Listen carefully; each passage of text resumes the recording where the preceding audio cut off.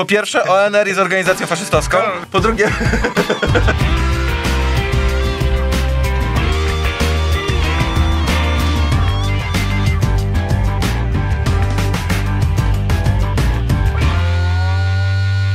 Karol się bardzo cieszy, że ONR Sąd jest Najwyższy oficjalną- uznał, że ONR tak. jest organizacją faszystowską, bo ktoś z razem ich napisał, że ONR jest organizacją faszystowską. Oni powiedzieli, nie pozwolimy sobie na szkalowanie naszego dobrego imienia obozu narodowo-radykalnego. I przegrali. I przegrali w sądzie już najwyższym. Jakby puentą tej sytuacji jest to, że będą musieli zdelegalizować ONR. Nie, tak może być dalej. Bo, W bo w? Konstytucji chyba jest tak, że jeżeli jakieś organizacje bezpośrednio odwołują się, i tu jest kilka nurtów, Mhm. jest komunizm, jest faszyzm, em, nie wiem co jeszcze, to nie, no nie mogą, nie, nie mogą działać legalnie na terenie Polski. Część osób się odwołuje, mówi, no ale jest e, e, Na przykład Partia Razem i działa. nie, nie, nie, nie. Jest komunistyczna partia Polski, odcina się od totalitaryzmu Czemu komunistycznego. się nazywa komunistyczna partia? Nie wiem, jakby ja nie mam z nimi nic wspólnego, nie mam pojęcia na jakich zasadach oni działają, zupełnie serio. Co chciałbyś, jakby, koniec dość już o mnie, co chciałbyś powiedzieć o mojej fryzurze? Podoba mi się? Wodek mówi, że nie podoba mu się moja fryzura, bo wyglądamy jak ulicznik. A ja mu wtedy mówię, daj k***a telefon. O, no. Napraw szybko, wtedy cię okradnę. To jest XS, nie? No. Wod. Mega to jest mega fajne mieć trzy aparaty Miodzie, absolutnie. Coś niesamowitego. do prowadzenia rozmów. Mam iPhone'a 12, oczywiście, wersję O. Pro. Yy, Bogusław Linda bo to powiedział. Oczywiście. Nie, obra... nie. Nie pozwolę obrażać dobrego imienia jednego z najwybitniejszych polskich aktorów. On jest faktycznie dobry. On jest, On jest bardzo... Wyjście z pytajnikiem Bo on nie połknął blendera, mówiąc... Bardzo lubię. Bo on nie siedzi na ub- ubijarce do gruntu, mówiąc kwestie. Czy czy... Ty mówisz, jak, ty mówisz jakby Bogusław Linda przepracował 20 lat w stalprodukcie, ubijając jakieś chodniki. Przyszedł na... Przyszedł na Kochanie, jak Nie chcę mi się z tobą gadać. Co chciałbyś powiedzieć Idze Świątek za to, że wygrała fenomenalnie? Nie, nie, nie znam. Brawo, Iga. Mega fajnie. Pięknie grała. I Piotr Żyła zdobył z pierwszego swojej, w swojej karierze Mistrzostwo Świata. Iga, przyznam się szczerze, nie oglądałem. Oglądałem co innego. Iga, widziałem, że e, wygrałaś na pasku w TFN24. Wyświetlało się. Wygra- Iga wygrała na pasku? Wygrała WTA Adelaide. Tak. Ogólnie w Australii Ogólnie w wygrałaś. Australii to było. Iga, ty masz mało lat, nie? No, ona ma 19 lat. Ona jest tak dobra. Dziwne to jest dla mnie 19 Ona jest lat tak mocna. I już być po świecie, jeździć i Ona jest tak mocna. Powiedz mi, Iga, kiedy, jaki ty masz plan na przyszłość? W sensie na studia idziesz, czy nie idziesz? Co, będziesz grać w piłkę do końca życia? Ja mam pytanie do ciebie. Bardzo proszę. No widziałem, że ty na Facebooku, na swojej grupie wrzucałeś screenshot ze swojego telefonu, jak z Robertem Makowiczem. Ale fajnie w ogóle jak to było. Leżę sobie na łóżku. Leżę Jak to, sobie, jak to było rozmawiać z Robertem leżę, Makowiczem? sobie O, na, leżę sobie na kanapie. To była kanapa do siedzenia, czy do prowadzenia rozmów? Nie, to była moja normalna w domu. Normalna. Nie, tak fajna. I wiesz, i pierwszy, jaki ty masz odruch, jak jest środek dnia, akurat wiesz, s- sobie, wiesz, scrollujesz i ktoś dzwoni nieznany. Jaki jest twój pierwszy odruch? Kurwa, nie zna, a, że nie znany. Nieznany. No to nie odbieram. Dzwoni nieznany numer, myślę, czego kurwa ktoś ode mnie chce. A tam po drugiej stronie słyszę głęboki, Robertowy. nie Halo? Halo, czy mam przyjemność z panem Karolem Paciorkiem? A ja tak. I tu było tak, tu i tak tak. Pan Robert? Pan... Czy to pan Robert? A ty tak mieliśmy się dzwonić w sprawie nagrania. No i owszem, przegadaliśmy rzeczy, przegadaliśmy detale naszego spotkania. Wszystko jest ustalone. No ale chciałem cię zapytać, bo tak wrzucałeś właśnie tam screena, że rozmawiałeś z Ale się cieszę tak zupełnie serio. Cieszę się, w że będzie Widzę Robert właśnie, Makowicz. no, Mega ja się się cieszę. mniej cieszę, bo właśnie tam rzucałeś, że rozmawiałeś z Robertem Makowiczem. Nigdy nie rzucałeś takich screenów ze mną, że rozmawiałeś ze mną. Wiesz jak to jest? To ale- jest jak stały związek. Powszedniejesz. Ty ze mną nie rozmawiasz. Szarzejesz. Twój nos jest większy. prowadzisz rozmowę. Włosy siwsze. Brzuch większy. Ja nie chcę, żebyś ze mną rozmawiał. Nie chcę, żebyś ze mną gadał. prowadził? Jeszcze odnośnie, zanim wejdziemy w ten odcinek No. jak w masło. Wiesz co Monika mi powiedziała o tej bluzie? Wyobraźcie sobie. tej bluzie? Umówmy się, to jest najlepsza moja bluza, nie? Tak mi się To wydawało. może być twoja najlepsza bluza. Tak mi się wydawało. To jest, to jest... widzów to jest pewnie też najbardziej taka włodkowa, nie? Wyobraźcie co ona mi powiedziała. Wyrzuć ją.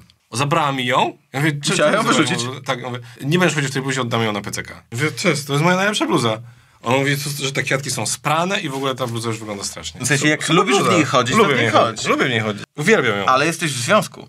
Jeżeli, No, jeżeli, po a, związek, a związek to jednak są dwa byty Wiem, wiem. koegzystujące. Wiem, Więc jeżeli twojej żonie wiem. bardzo przeszkadza chodzenie w tej bluzie, ale równocześnie tobie pozbycie się tej bluzy nie sprawiłoby jakiegoś ogr- ogromnego problemu. No, to powinien to rozważyć, wiem. To rozważam. Dzisiaj porozmawiamy o telewizorach. Wiem, że nie mogliście się doczekać, bo dawno nic nie było o telewizorach. E, chciałbym uspokoić wszystkich i powiedzieć od razu już na wstępie, że Pionier Huro radzi sobie świetnie i nadal działa. E, licznik godzin e, bije i bije mocno, aczkolwiek nie wiem ile godzin ma, bo zresetowałem licznik. Co ma wspólnego Mercedes Beczka, tak. Mercedes Beczka i Pionier Kuro? Oba już mają zresetowane liczniki trzy razy. Powiem tak. My, my, u mnie taka historia by się nigdy nie wydarzyła. Taka sytuacja nie miałaby miejsca, e, tak jak w przypadku e, tutaj pana z Kielc. Ja bardzo lubię Kielce. Byłem tam praktycznie najbardziej co lubisz Kielcach? Lody te tam na rogu. rogu No, opowiadaj, które jak się nazywają te lody? Lody. Nie, no, nazywają się Są lody. pyszne. Jak się nazywa lodziarnia? Lody. Kocham lody z Kielc. To są najlepsze lody. W ogóle Kielce uważam, że są najlepszym miastem w Polsce. Kłopoty mieszkańca Kielc z telewizorem Sony za ponad 10 tysięcy złotych. Dwa ale razy... wow, nie zauważyłem, że to aż tyle pieniędzy. Tak, bo to Wow, był jakiś dużo, topowy dużo. model. Dwa razy ta sama usterka. Pan Tadeusz oglądał za dużo TVP Info. Zacznijmy od tego, E. kto kupuje telewizor za 10 tysięcy złotych po to, żeby puszczać sobie na nim TVP Info? Jak- jak się jakie, okazuje- jakie newsy lecą w TVP Info? Obchody 90, 90. rocznicy objawienia Jezusa. This is in the news right now! Mnie by to interesowało. This is in the news right now! Mnie by to interesowało. Siostra Faustyna i objawienia czegoś...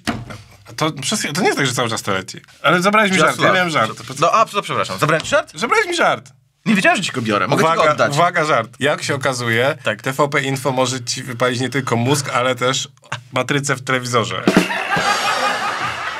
Tani nie był, ale miał być najlepszy. Tak przynajmniej reklamował go producent. Okazuje się jednak, że wypasiony telewizor marki Sony e, nie nadaje się do oglądania TVP Info. Oburza się pan Tadeusz Kiel. Słuchajcie, pan Tadeusz Kiel w 2017 w grudniu sobie kupił telewizor Sony.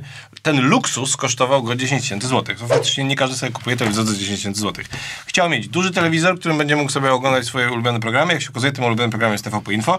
Nie dam oceniać, każdy ma swoje ulubione programy. Na panelu pojawiły się zielone pasy, co było strasznie irytujące w trakcie oglądania. Zgłosiłem usterkę w ramach gwarancji, reklamację uznano w połowie lipca to okej, 2019. Otrzymałem nowy telewizor o, o porównywalnych parametrach, ponieważ poprzedni model wycofano z produkcji. Radość nie trwała długo, potem w połowie listopada 2020, czyli równo też po półtora roku, na ekranie wyświetlacza znów pojawiły się zielone paski. Co mogło być zielone paski?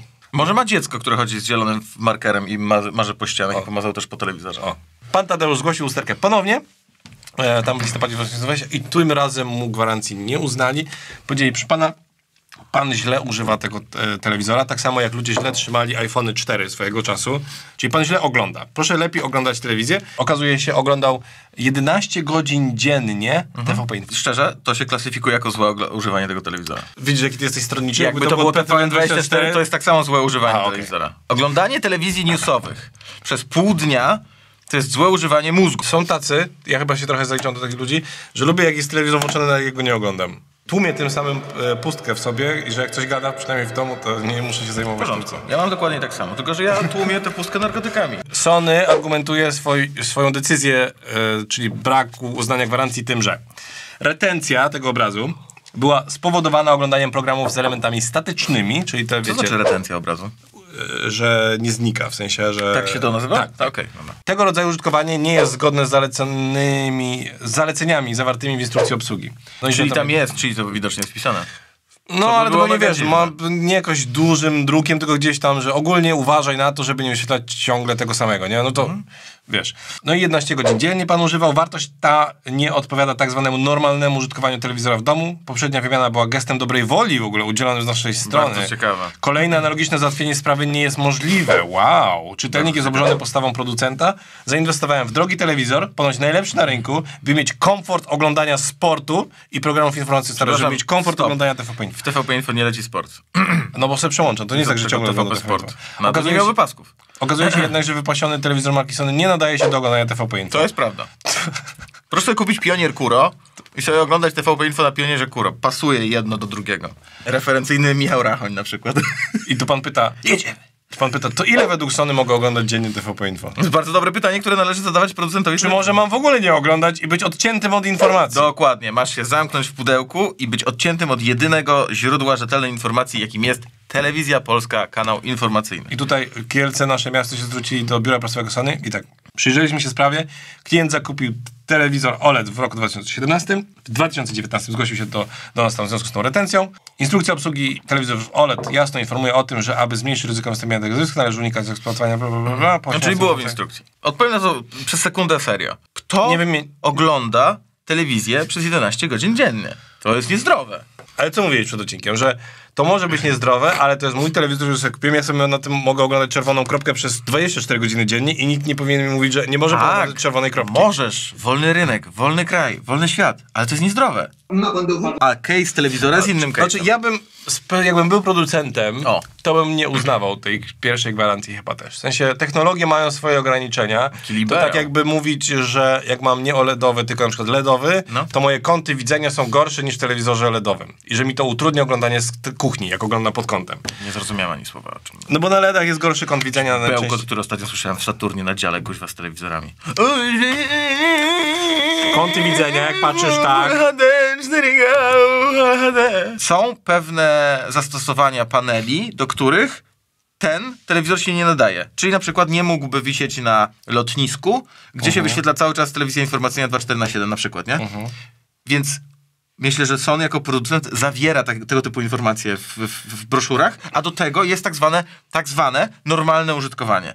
Normalne użytkowanie, umówmy się, żaden producent nie zakłada, że normalnym użytkowaniem jest oglądanie jednego kanału non-stop. Innymi słowy, ten telewizor był użytkowany nie do końca zgodnie z jego przeznaczeniem. Ja myślę, że to też jest Czy mi się to podoba? Nie, no mogliby to zrobić A to jest lepiej. element niewiedzy i być może złego doradztwa w sklepie, bo Czy nikt go nie zapytał, panie, a czy pan planuje oglądać cały czas Nie, kanał? pytają. Co, nie, serio pytają. Czy na przykład ogląda pan... No, Prawda? ma znaczenie. Znaczy, powinni pytać moim zdaniem. Ja bym pytał, jakbym pracował w sklepie. Czy ogląda pan na przykład e, w nocy czy w dzień? To jest po prostu pierwsza informacja. Ej, czy, ty, czy twoi jedyni przyjaciele teraz są ludzie, którzy pracują w Mediamarkcie?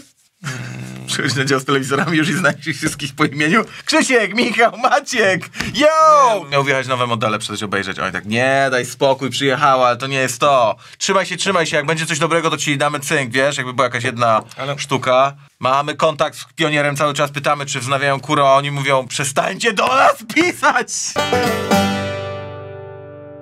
Ktoś napisał, że jest coś takiego jak teoria Markowicza. Model zaproponowany przez Markowicza bazuje na założeniu, że rynki kapitałowe są efektywne w sensie informacyjnym, a celem inwestorów jest maksymalizowanie stopy zwrotu w odniesieniu do ponoszonego ryzyka inwestycyjnego. E, Po raz pierwszy scharakteryzował on, w sensie Henry Markowicz, e, inwestycje kapitałowe poprzez dwa czynniki. Oczekiwaną stopę zwrotu i odchylenie standardowe jako miarę ryzyka inwestycji. This is fun. E, Założenie efektywności rynków sprowadza się w praktyce do traktowania rynków kapitałowych jako doskonale konkurencyjnych, na których z jednakowym skutkiem mogą działać inwestorzy instytucjonalni i indywidualni, zaś informacje docierają do wszystkich na równych zasadach i w tym samym czasie. Oparcie mi tak dopchnęło tyłeczek. To może inny mają.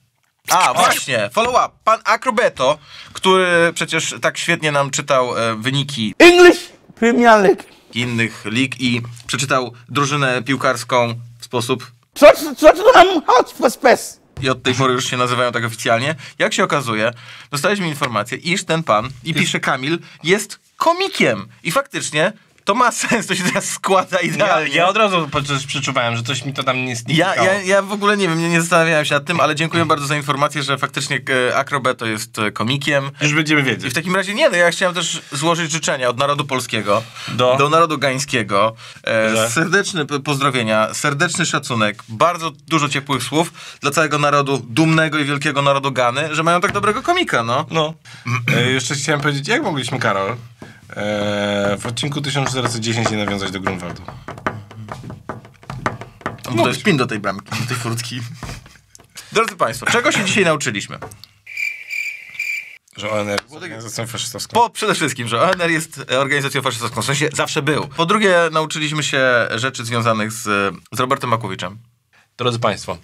E, ale w ogóle krzywo mikrofon był przez cały. Ja pierdzielę. Tak? No? Czemu nic nie powiedzieli? W ogóle ani nie był mega nisko, ani nie był na środku. Może dlatego, że wcześniej go w ogóle nie włączyłeś i nie działał. Ja myślę, że jednak pójdę do piekła, wiesz? Wydaje mi się, że jednak jeżeli istnieje piekło, to ja... Nie, ja, ja się sam już kwalifikuję do tego. Ja chyba sam siebie powinienem wpisać wolontaryjnie na listę człowieka, który wybiera jednak iście do piekła, Ja mam- tylko po to, żeby do końca życia móc sobie robić jaja. To masz różne tygodnie, bo raz jak przyjeżdżam, to jesteś taki, a raz jak jesteś taki. Ale jestem dla ciebie, jestem zawsze z sercem. Kocham cię. O, lepiej? Lepiej. Z wami też mam nadzieję lepiej. I że spotkamy się wszyscy po śmierci, a do tego czasu pamiętajcie, żeby być Lekko. stronniczy. W, piek- w piekle się nie spotkasz z nikim, bo w piekle się klamki zamykają od środka.